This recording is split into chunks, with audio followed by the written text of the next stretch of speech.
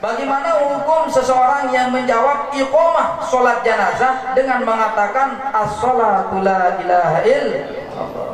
Biasa kan? Salatul janazah, as-salatul janazah, as-salatul janazah rahimakumullah. As-salatu la ilaha illallah. Ada masalah.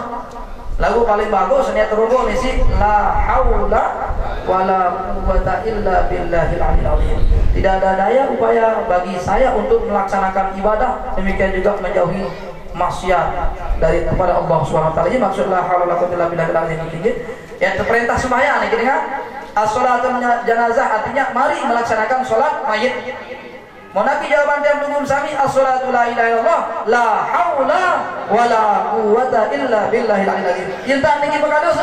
Alhamdulillah.